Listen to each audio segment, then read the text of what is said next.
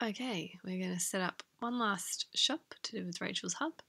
So she's going to scroll down to the bottom of the um, of the homepage and register another shop. Click there. Open up here. Again, happy with the terms of service, happy with the pricing. Let's get started. So this is a hub for a whole heap of the local producers to sell to.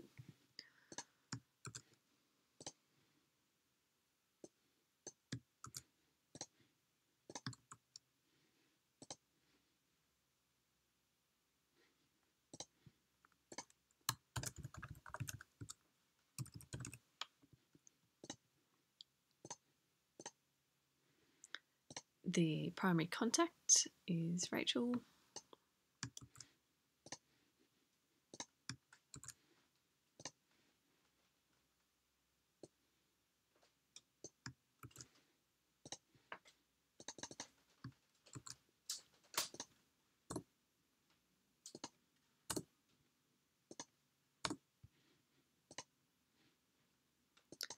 and a phone number.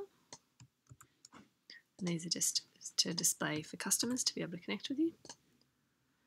So for this one, Rachel is using the hub to sell her own produce, but also produce from uh, other farmers in the region and bakers and so on. So she's going to select the hub package and create a profile.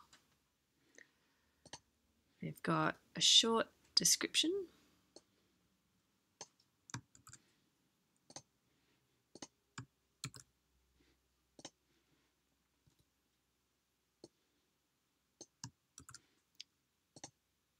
and something a little longer as well.